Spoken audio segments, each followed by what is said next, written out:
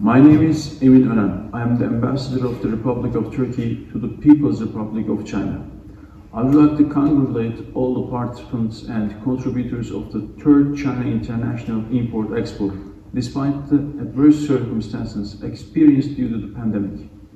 We consider China International Import Expo as one of the most important opportunities for Turkish companies to enter the Chinese market. Therefore, 64 firms from Turkey participated in the expo last year, bringing together Chinese consumers and Turkish products.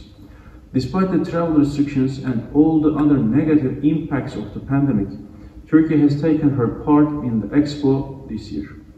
At present, Turkey is the 13th biggest economy in the world according to purchasing power parity.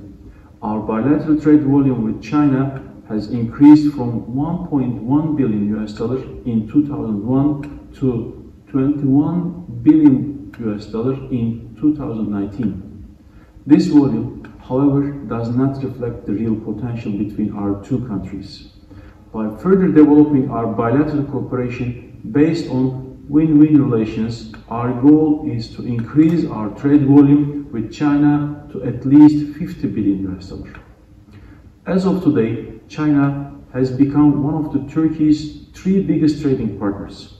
We believe that high-quality Turkish products, especially food and processed agricultural products, garments, home textiles, cosmetics and jewelry industries will make great contributions to the Chinese market. After the effects of the pandemic disappear, we expect the Chinese tourists to visit Turkey again, which is the sixth most visited country in the world, thanks to the, her natural beauty, culture and cuisine, in addition to her 12,000 years of history. We hope to host at least 1 million Chinese tourists annually in Turkey for discovering the wonders of the country.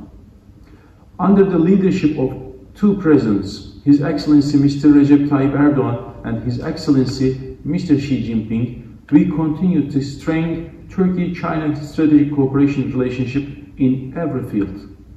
The joint consensus of our leaders has not only led to progress in our bilateral relations in recent years, but also laid the foundations of a long-lasting friendship befitting the two ancient civilizations. As two civilizations located in the easternmost and the westernmost of continental Asia, China and Turkey have cooperated for centuries on the historical, historical Silk Road. Today, we continue to work for further strengthening, strengthening Turkish-Chinese relations in line with the common vision provided by the Belt and the Road Initiative.